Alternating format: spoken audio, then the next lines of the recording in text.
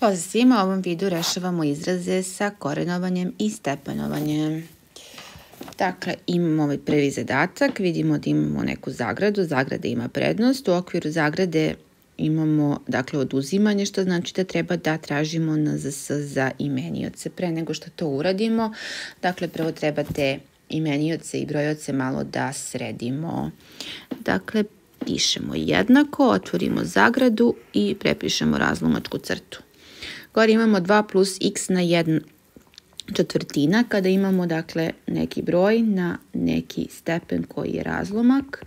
To drugačije možemo zapisati dakle kao empty stepen od a na n. Koristeći ovo pravilo, dakle ovdje ćemo imati 2 plus četvrti koren iz x na prvi, odnosno četvrti koren iz x. Isto to radimo i dole, dakle ovo je četvrti koren iz x isto, samo što imamo minus.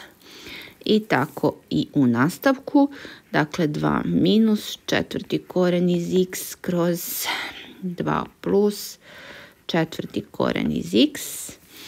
Pa ovdje imamo podeljeno, pošto imamo podeljeno, ću sad pisati puta. I ovo prepisujemo, dakle samo obrnuto, gore je četvrti koren iz x na treći, a dole prepisujemo 4 minus koren iz x. I ovo će dalje biti jednako. Dakle, rekli smo da tražimo NZS, u ovom slučaju to će biti njihov proizvod, odnosno kad bolje pogledamo, ovo je u stvari razlika kvadrata, tako da je NZS u stvari, dakle posmatramo ovaj deo gde je minus, prvi na kvadrat, odnosno 2 na kvadrat, minus četvrti koren iz x na kvadrat.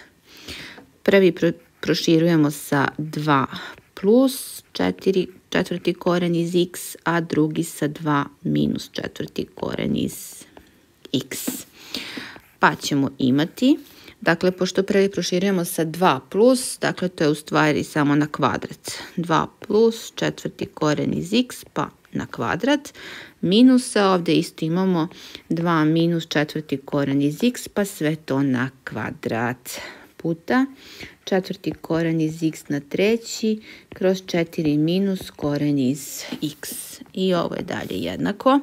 Dakle, ovdje imamo kvadrat zbira, prvi na kvadrat, 2 na kvadrat je 4, pa imamo plus dvostruki puta prvi puta drugi, 2 puta 2 je 4, pa imamo četvrti, 4 puta četvrti koren iz x i plus drugi na kvadrat, to je četvrti koren iz x na kvadrat. Minus, otvorimo zagradu, zbog ovog minusa, dakle mora zagrada, dakle ovo će biti isto, samo što ovaj jedan znak umjesto plusa bude minus.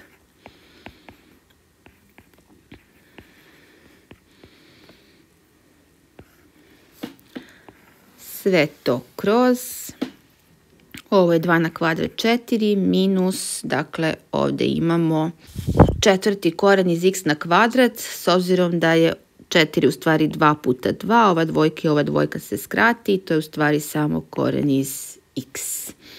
Pa imamo puta, dakle za sada ćemo ovo i dalje prepisivati. Dobro, ajmo da vidimo šta ćemo ovdje dobiti u brojocu. Dakle, prvo moram da se oslobodim ove zagrade. Dakle, sve prepisujemo. Samo menjamo znake.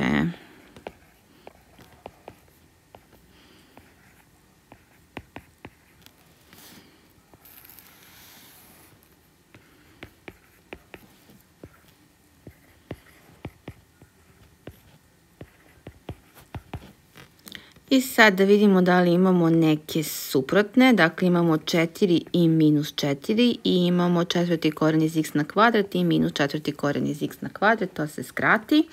Vidimo šta mi je ostalo. Dakle, ovdje mi je ostalo 4 četvrti koren iz x i 4 puta četvrti koren iz x, dakle to je ukupno 8 puta četvrti koren iz x pa kroz 4 minus koren iz x puta četvrti koren iz x na treći kroz 4 minus koren iz x i ovo će biti jednako, dakle pod jednu razlomačku crtu dole imamo 4 minus koren iz x pa sve na kvadrat.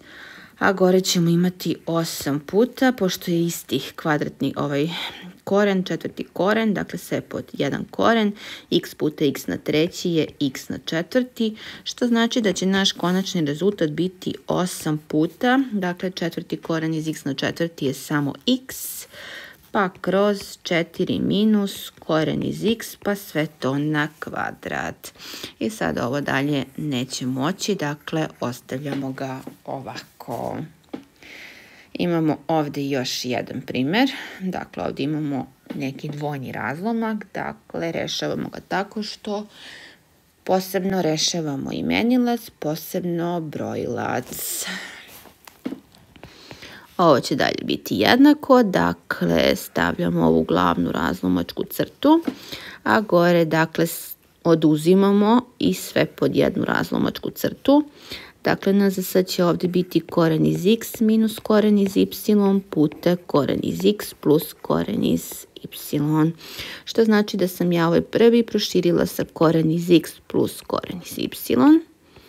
A ovaj drugi sa koren iz x minus koren iz y. I ajmo sada vidimo. Dakle, ovdje imamo x minus y puta koren iz x plus koren iz y. Pa imamo minus x minus y puta koren iz x minus koren iz y. Što se tiče dole broja imenioca, dakle imamo x minus y, x minus y, dakle ja ovdje već imam isti imenilac pa samo prepisujem, što znači da ovdje ne treba ništa da se proširuje, nego samo prepišemo. I ovdje imamo puta, ovo ću za sad samo da prepisujem. Dobro, ajde, mogli smo da izvučemo minus ispred, pa da ovo stavimo kao x minus y, jer već ovdje imamo neki x minus y, pa pretpostavljam da će nešto tako da se skrati, pa možemo odmah minus da izvučemo ispred zagrade. Ajmo da vidimo šta sad ovdje imamo.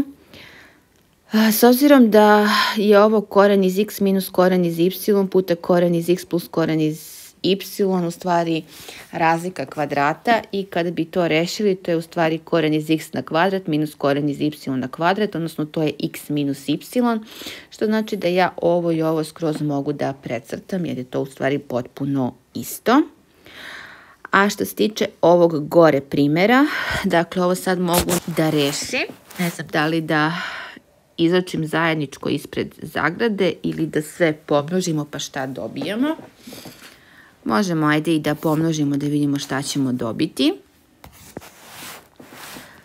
Uh, ajmo x puta koren iz x, to je x koren iz x, pa imamo x puta koren iz y, to je plus x koren iz y, pa imamo minus y koren iz x i imamo minus y koren iz x, pa imamo minus, otvorimo zagradu, x koren iz x, minus x koren iz y, minus y koren iz x i plus y koren iz y. Pa sve to kroz. Da vidimo šta nam je dole ostalo. Minus koren iz y plus koren iz y daje nulu. Tako da ono što nam je ostalo koren iz x plus koren iz x, a to je 2 koren iz x. Pa puta ovdje imamo 2 koren iz x y kroz minus x minus y. I ovo je dalje jednako. Moramo se osloboditi ove zagrade.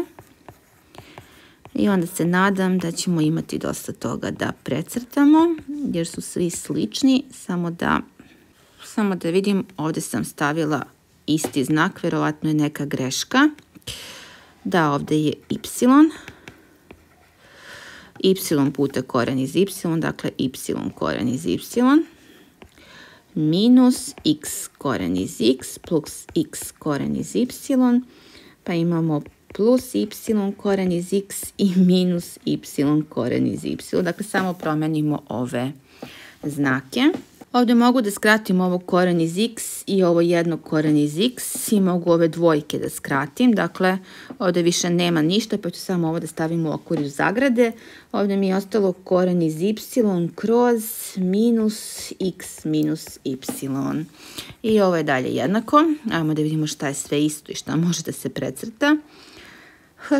Mislim da je to sve što smo mogli što znači da mi je ostalo ovo x koren iz y plus x koren iz y, to je 2x koren iz y i minus y koren iz y, minus y koren iz y, to je minus 2 y koren iz y.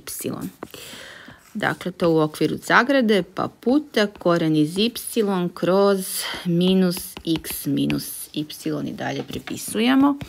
I ovo je dalje jednako. Ovdje mogu da izvučem 2 koren iz y ispred zagrade, pa će mi ovdje ostati x minus y puta koren iz y kroz minus x minus y. I evo sad ovo i ovo skraćujemo. I to je dalje jednako, minus ću izvući ispred.